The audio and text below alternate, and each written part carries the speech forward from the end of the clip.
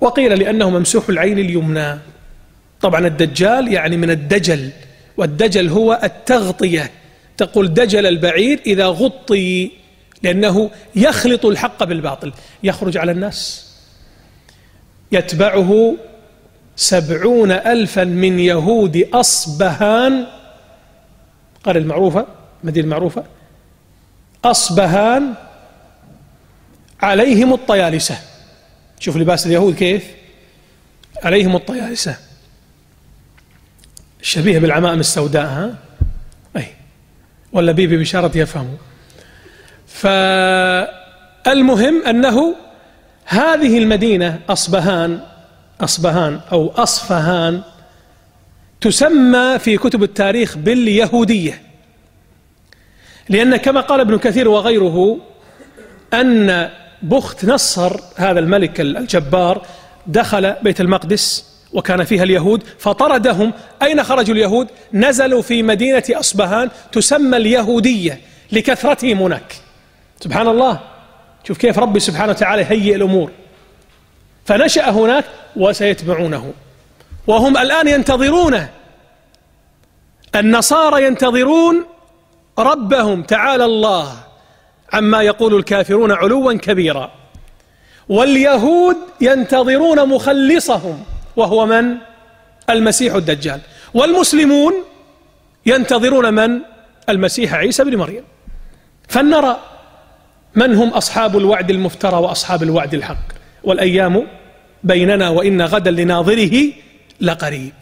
ولذلك الآن لما ترى هذا الذي يفسر إخواني ترى الآن الدعم الكبير من قبل أمريكا مثلا وأوروبا. أمريكا على وجه الخصوص لدولة إسرائيل. يعني سؤال مهم كل هذا حبا في إسرائيل؟ لا طبعا. لا طبعا. ليس حبا في إسرائيل. صح تقول والله هي دولة وفي المنطقة ونفوذ لها. ماشي. لكن ليس هذا هو بيت القصيد. بيت القصيد أنهم ينطلقون من منطلق ديني. لا يقصون عليه يقول لك منطلق اقتصادي. قد يكون اقتصاد لا شك في ذلك وسياسي و ونفوذ لكن الأساس ديني. ديني.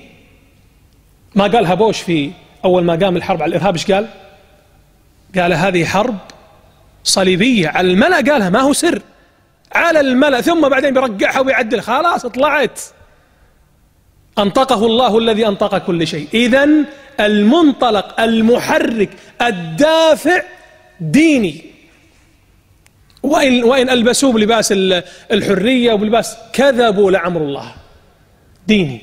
هم يقرؤون في كتبهم النصارى.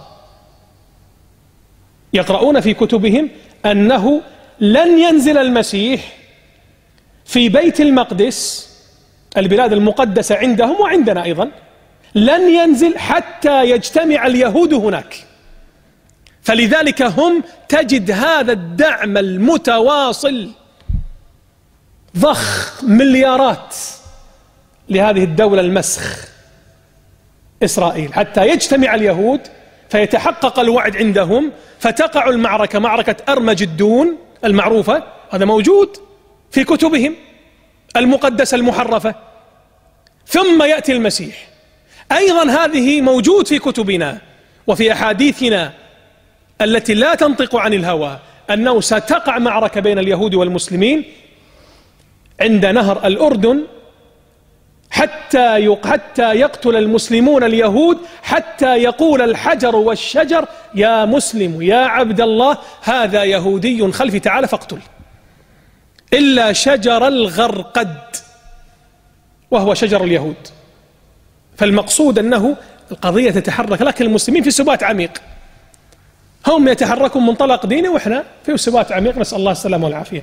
المهم يتبعه سبعون ألف من يهود أصبهان عليهم الطيالسة كذلك أتباع الدجال النساء. النساء أتباع هذا بنص حديث النبي صلى الله عليه وسلم. النساء حتى إن الرجل هذا حديث حتى إن الرجل حتى إن الرجل لا يوثق أهله يربطهم لأن المرأة ضعيفة العقل تتأثر بسرعة فيربطهم لا يفتنون ويتبعونه اتبعوه كفر.